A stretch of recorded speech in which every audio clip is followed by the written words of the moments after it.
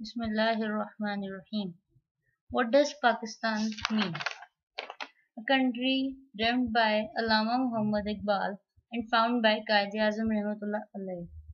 A country that came into being for the spreading and following of Islam.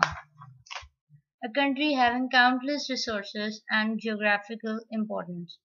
A country whose name was suggested by Chaudhry Rahmat Ali a country whose national anthem was written by Hafiz Jalandhari. But the most important thing, does anyone know what does Pakistan mean? Well, let me tell you that. Pakistan is a Persian word and it is constituted of two words of Persian language. These words are Pak and Istan. In English, it means pure land. In Urdu, it means Pak Sarzameen in Arabic, it means Medina. The most attractive part of our country's name is that its Arabic name is Medina.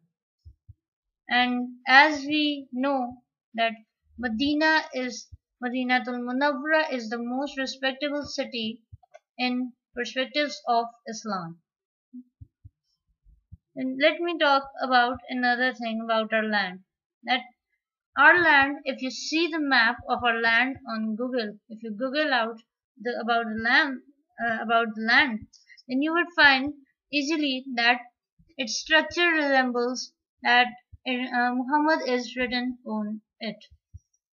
And then let me ask a question from you. Why don't we love it? Why don't we make us feel proud of it? Why? Why have we lost trust in ourselves that we are Pakistanis? Why do we degrade ourselves? Why do we try to mock at others who are Pakistanis? Why?